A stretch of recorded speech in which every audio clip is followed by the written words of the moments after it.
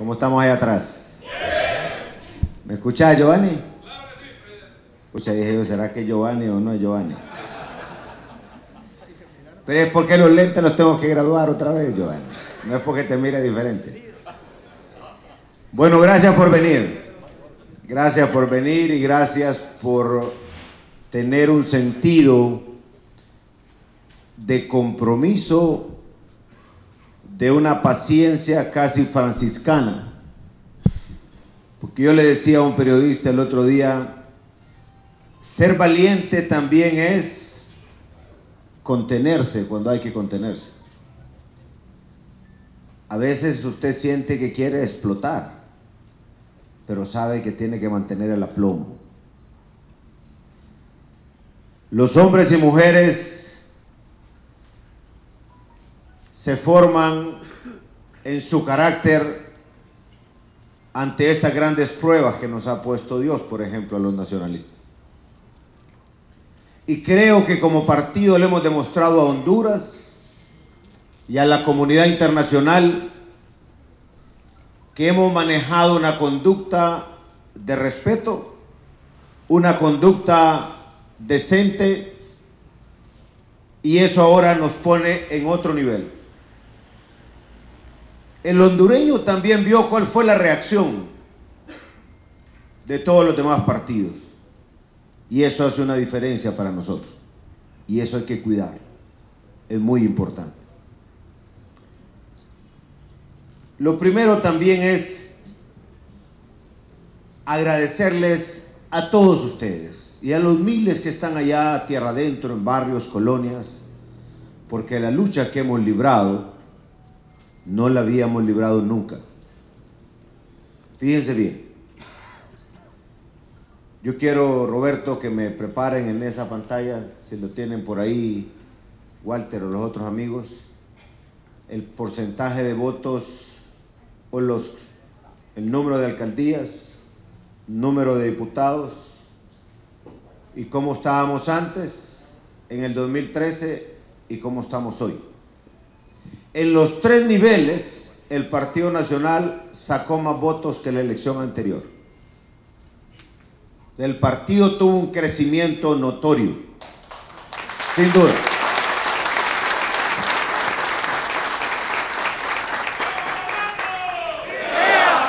Pero del otro lado de nuestros competidores sucedió un fenómeno que ustedes lo vivieron mucho en las alcaldías, en los departamentos. Se empezaron a poner de acuerdo. Y eso fue en las últimas dos, tres semanas. Cuando ustedes miran, por decirlo así, si ustedes se imaginan una cascada de todos los votos de Honduras, casi la mitad agarra para el Partido Nacional, pero 15, 20 días antes habían unos para Luis, otros para Salvador, pero a última hora muchos de Luis, casi 7 puntos, se fueron para Salvador. Igual ocurrió en varios municipios, en varios lugares en toda esta franja de aquí, el Partido Nacional ha tenido su fortaleza. Pero en los otros departamentos donde perdimos, aún ahí en muchos municipios sacamos más votos que en el 2013. O sea, el partido ha avanzado. Y esas buenas prácticas tenemos que revisarlas, escribirlas, Roberto, a todos los gerentes, a todos los alcaldes. Ahorita que lo tenemos fresco, necesitamos escribir eso. Porque la buena práctica hay que volverla a repetir y pulirla. Y los errores que cometimos, porque los cometimos, deben de servir para reflexionar, para replantearnos. Porque si algo también manda el mensaje, el pueblo en esta ocasión, si algo es fuerte, es que tenemos que hacer un replanteamiento que nos permita una acción de gobierno que produzca más beneficio a la población y que al final se traduzca en más votos para la próxima campaña. Pero no quiero que comencemos la próxima campaña sin terminar esta y sin instalar el gobierno. Y aquí hay algo que es importante definir. ¿Qué pasó? ¿Por qué se dan las convulsiones en, en estos últimos días? ¿Qué fue lo que ocurrió? Cuando empiezan a ingresar los datos del famoso TREP, o sea, de cada acta que llama la gente por teléfono, que manda fotos al tribunal, la programación estaba para que la mayoría de las actas en las que ellos ganaban, eso fue lo que ingresó primero. Las pocas actas que ingresaron donde nosotros ganábamos eran votaciones bastante bajas. Algo ocurrió ahí que los mismos técnicos nacionales y extranjeros dicen no era una muestra representativa de todo el universo de los votantes del país. Pero además hay una particularidad. El Partido Nacional históricamente, en los lugares más distantes de los centros urbanos, más votos saca.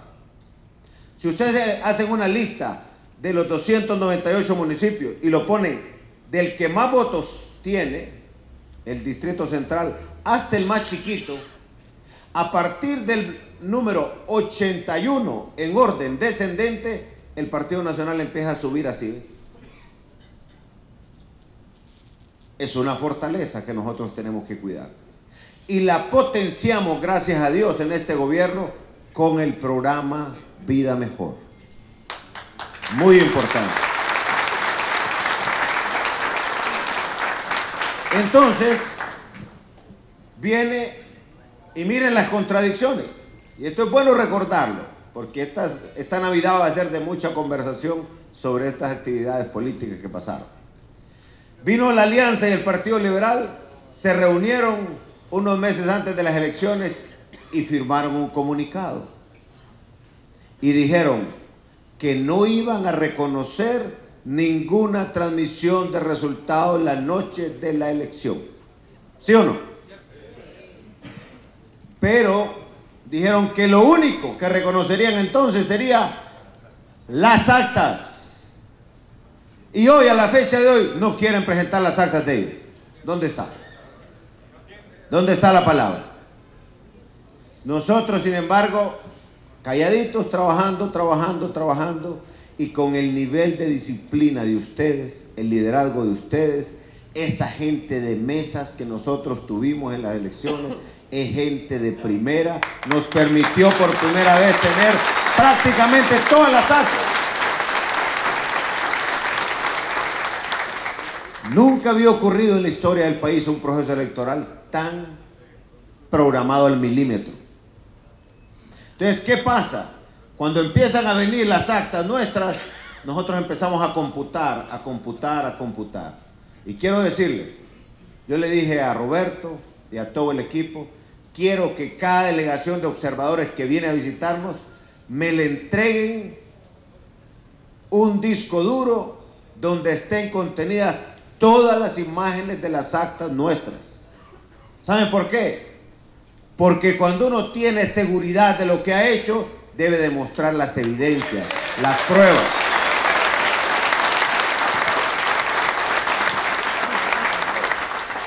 Se las entregamos a la OEA, se las entregamos a la Unión Europea, se las entregamos a otros observadores y además quiero que también ustedes recuerden algo. Todos los medios de comunicación que transmitieron este proceso en sus equipos tienen toda la suma de las actas, todas las fotos de las actas, de tal manera que eso es público. Y por eso le decíamos nosotros a la OEA hace poco, ¿y por qué no le dicen a, a los de la alianza que presenten sus actas? que las comparen con las que tiene el tribunal, y si no, que se vayan a Televicentro, que se vayan a HCH, que se vayan a todos los medios de comunicación, porque también ellos tienen acceso a esas actas. ¿Y por qué no las presenta? Entonces, las primeras horas después de esa noche, cuando se dio la transmisión de resultados, empezaron a ingresar todas las demás actas. Y ahí ya nosotros mirábamos en nuestro centro de cómputo del partido que se iba cerrando hasta que pasó a ir evidenciando una diferencia a favor nuestro. Y lo supimos antes que el tribunal inclusive, porque ustedes fueron diligentes en sacar sus propias copias y traerlas aquí como debería ser. Yo por eso quiero que a todos los miembros de mesa no pasen los próximos 15 días sin que nosotros les vayamos a hacer un reconocimiento especial. Como debe.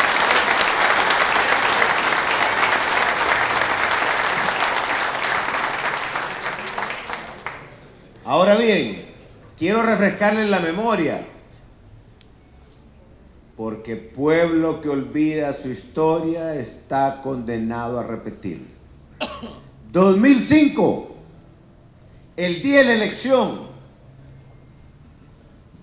a las 5 de la tarde, sacan una encuesta a boca de urna en un medio de comunicación y casi media hora, una hora más tarde sale el presidente del Tribunal Nacional de Elecciones de aquel entonces, que ahora es el asesor principal del candidato de la alianza, y dice, aquí ya no hay más que decir que Mel Zelaya es el ganador. ¿Y qué ocurrió?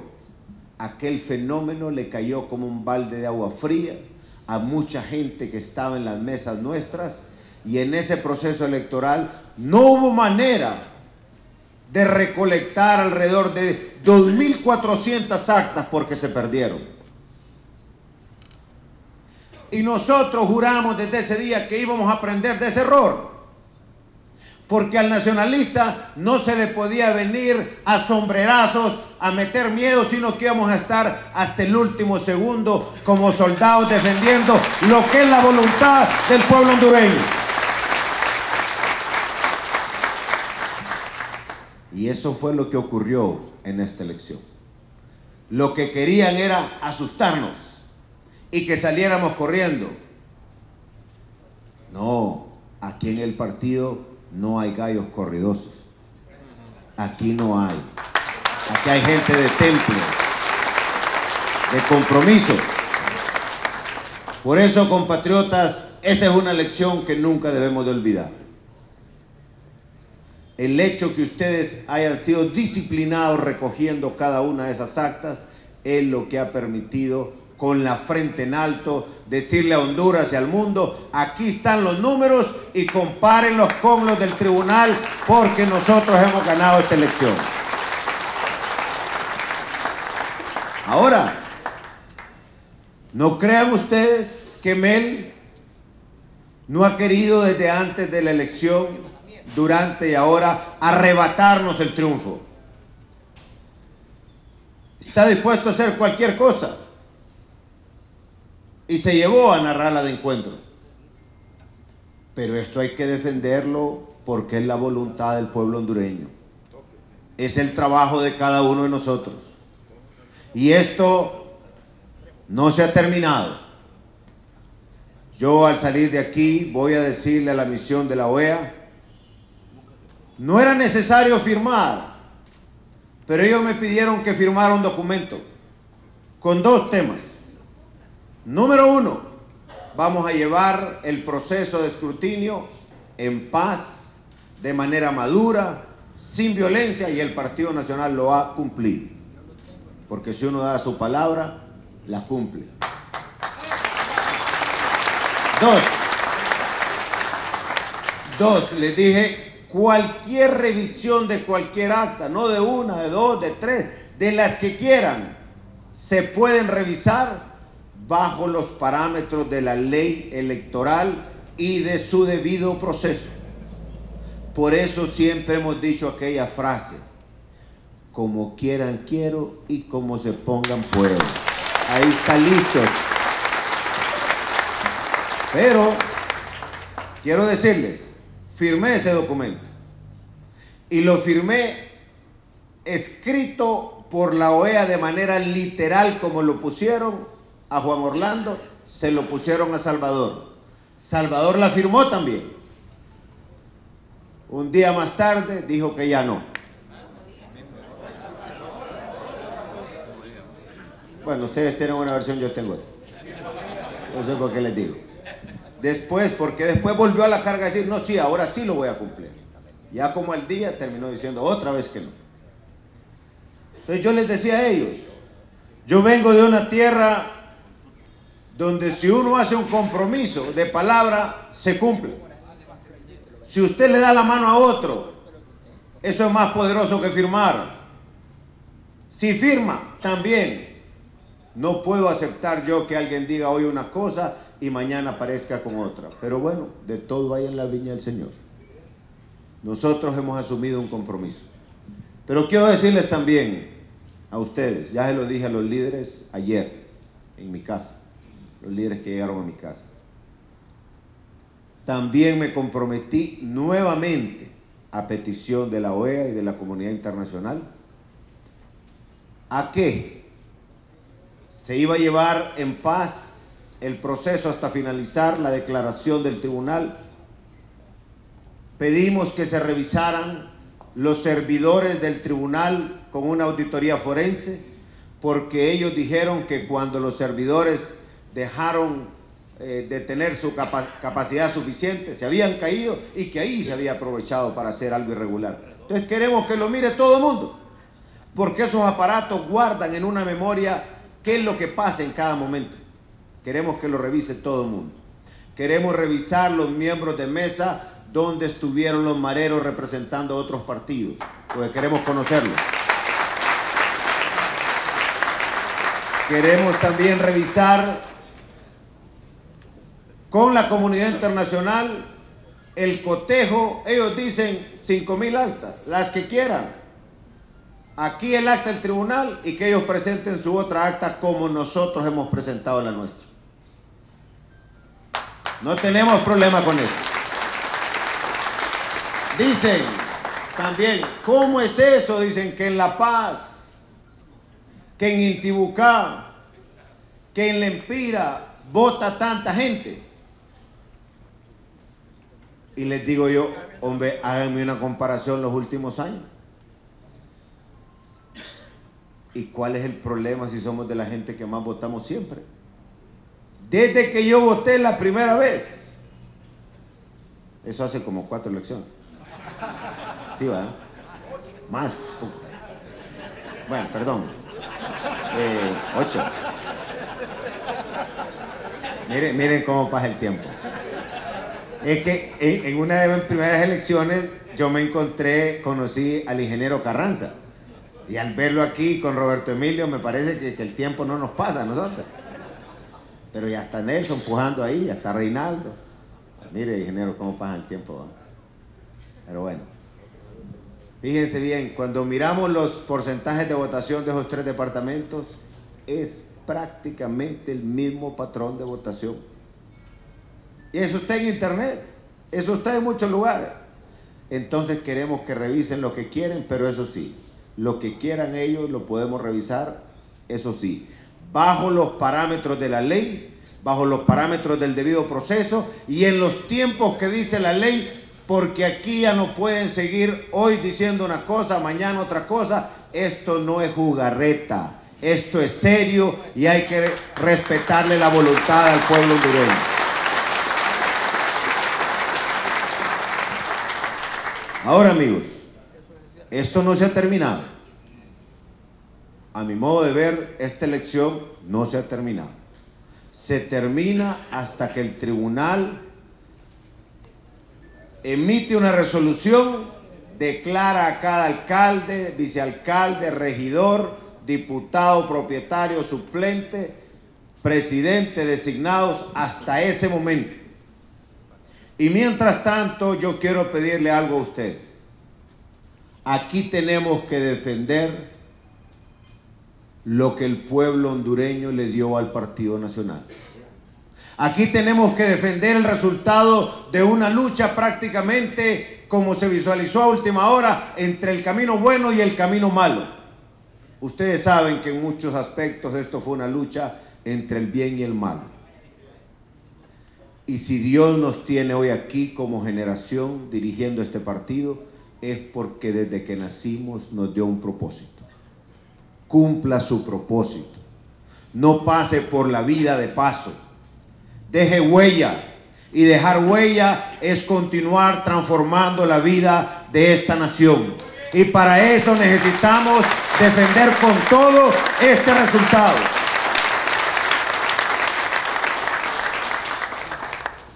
Yo me comprometí, aquí vamos a llevar la fiesta en paz. Voy a hablar con ellos ahorita más tarde. Pero yo quiero que se preparen. Porque así como le hemos pedido al nacionalismo, que a pesar de que está alegre y quiere salir a celebrar, ganó su alcalde, sus diputados, la presidencia, les decimos cálmense para no que no se den confrontaciones.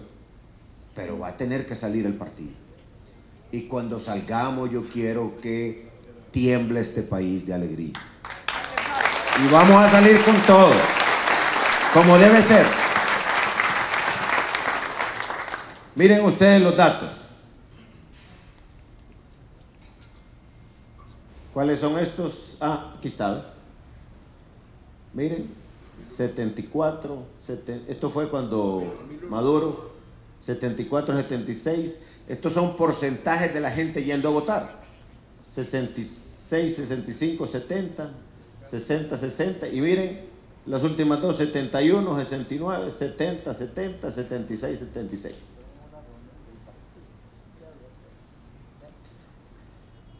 Para la guerra del 69, la gente del Empira y en Tibucá, como estaban en esos batallones cerca, ahí estuvieron. De La Paz también. Gente siempre comprometida. Por eso siempre les hablé yo que yo venía de las tierras del indómito cacique el Empira. Porque así somos nosotros. Ahora,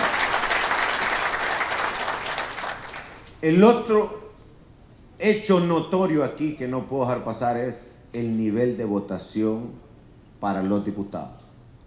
Muchos me decían, Juan Orlando, usted hace más énfasis en los diputados que en usted mismo también. Pero yo sabía lo crucial que era en un próximo gobierno votar en plancha. Sé que eso a alguna gente no le gustó, pero miren, el nivel de votación en plancha que hemos tenido es algo extraordinario. Si no hubiéramos hecho eso, no tuviéramos los resultados de los diputados que tenemos hoy.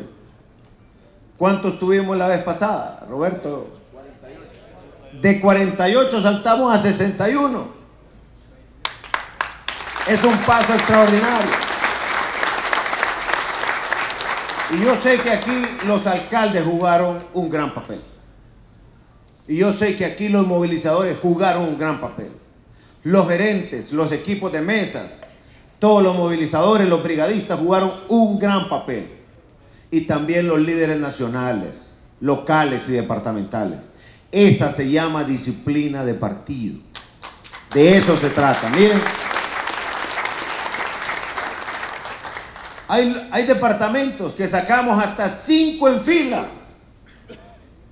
Cinco diputados en fila que yo recuerde, salvo los maestros que han visto esto antes, yo no creo que había ocurrido antes. Nunca había ocurrido. Y lo que decía Mauricio Oliva, diputados nuestros que sacan 200 mil votos y por aquello de los cocientes le quitan el puesto uno que apenas saca 5 mil votos. Miren qué injusto es. Y aquí quiero reclamarles a los líderes de mi partido cuando yo pedí en dos congresos seguidos que teníamos que reformar esa ley para arreglar esto. Yo no voy a desconocer que cuando se montó la ley de, votación individual también yo apoyé, pero yo pensaba que el resto de Honduras era como el Empira, donde allá nos poníamos de acuerdo. Después me fijé que habían pleitos por todos lados y dije, démosle vuelta y votemos de una sola vez pero no pudimos pasar la reforma a la Constitución, a la ley electoral. Hoy tenemos que hacerlo porque si no se destruyen los partidos.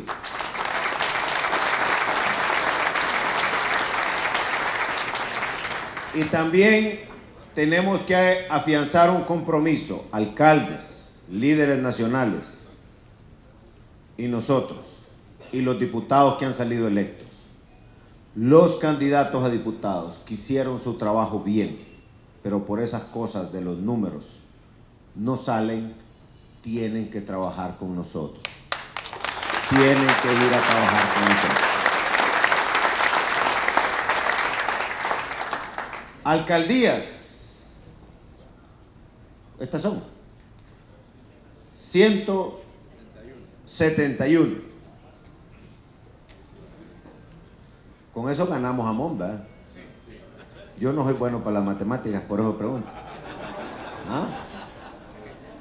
Bueno, alcaldes, eh, necesitamos también dar un siguiente gran paso, que ya vendrá tiempo de hablarlo, porque necesitamos impactar fuertemente ahora en los municipios, en las zonas urbanas.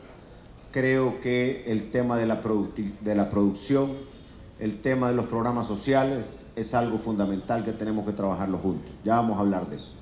Pero por lo pronto, en suma, no ha sido una tarea fácil. El partido avanzó más de lo que tenía en la elección pasada, pero no olviden, Dios nos pone a cada uno de nosotros a prueba. Y esta es una de esas pruebas. Y tenemos que ser humildes en aceptar los errores que hemos cometido, pedirle sabiduría a Él para poder digerir eso mentalmente y también en la conciencia y replantearnos, porque tenemos que seguir transformando el país. Y para eso tenemos que seguir logrando más voluntad.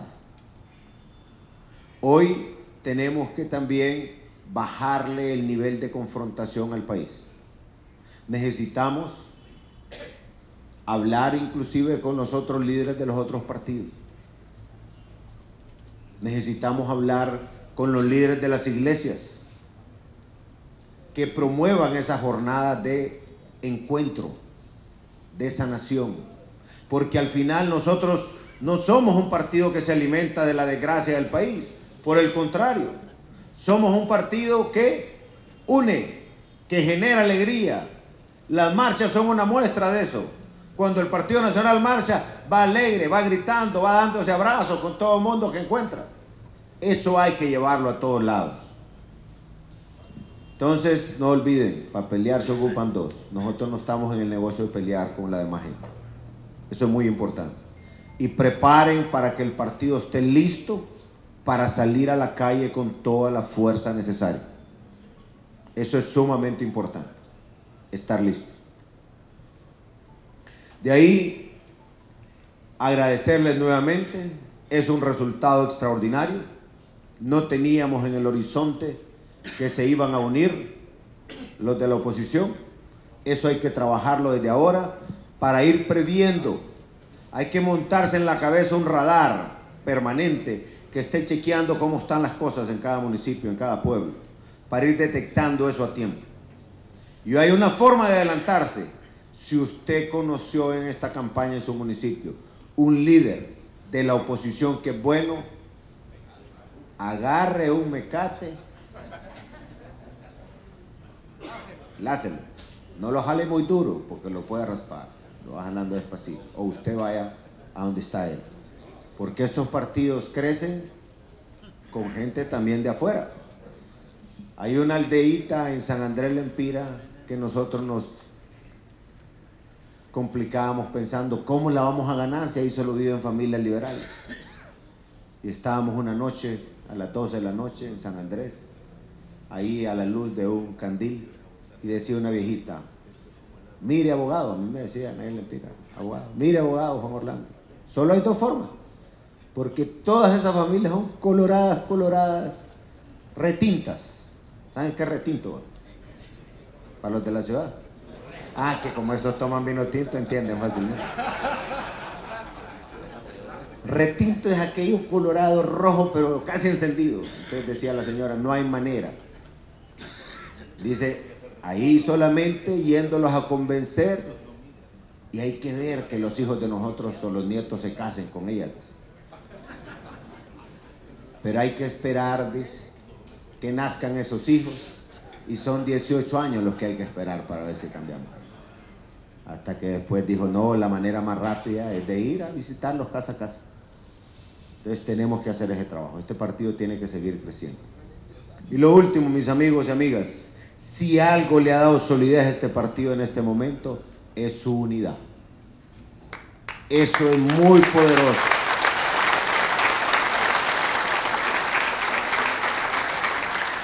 Y yo quiero comprometerme aquí ante Dios, ante ustedes, si algo voy a hacer es convertirme en alguien que esté cuidando todos los días la unidad de este partido.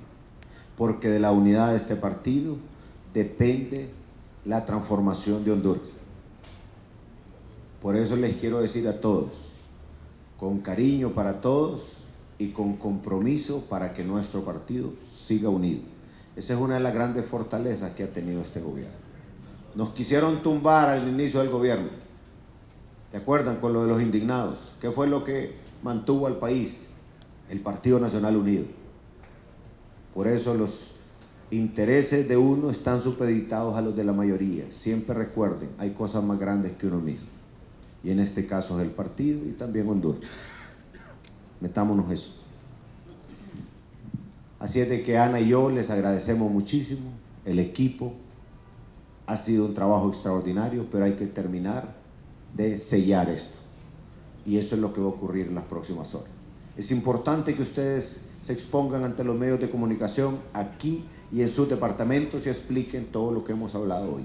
Y se les va a pasar también un recuento de todas las líneas de comunicación que tenemos que hacer.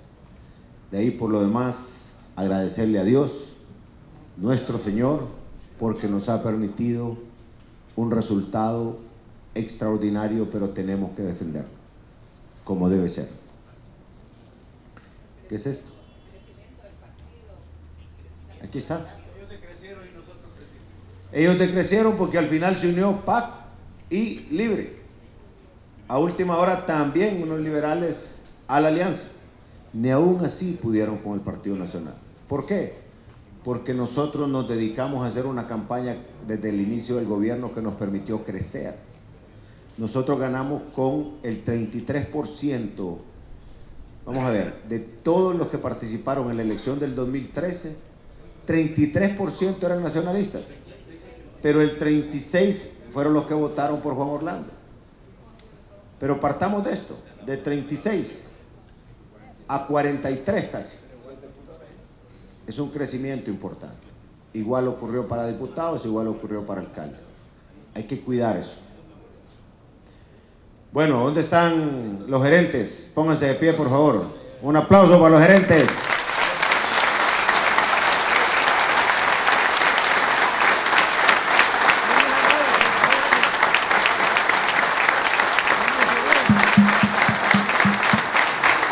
Equipos de mesa, un aplauso para mesas.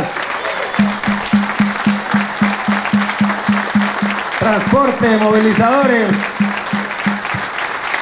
a toda la estructura de OT. ¿Dónde están los de OT?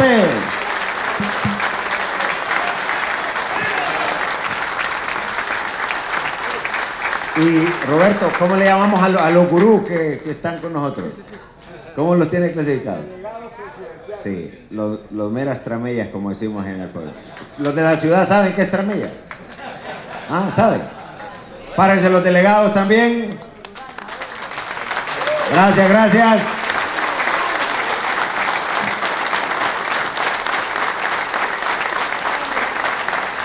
Diputados y candidatos a diputados electos también, un aplauso, pónganse de pie. Muy bien. Alcaldes y alcaldesas también de pie. Fuerte aplauso. Gracias. Muchas gracias de todo corazón. Solo les repito, mantengámonos como vamos de aquí vamos a otra reunión, ¿verdad? Y ya hay una planificación que entiendo que se la van a dar a conocer a todos. Así es nuevamente de parte de Ana y yo, de toda nuestra familia, con mucho cariño siempre, con mucha gratitud de hoy para mañana, para siempre. Muchas gracias. ¡Viva el Partido Nacional! Vamos a ver, Partido